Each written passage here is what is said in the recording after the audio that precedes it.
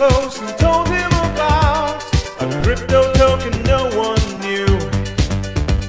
Now two years later on, the market's down from its peak, but this coin started shining through. Don't forget, Whitedove put us where we are now. She said this coin is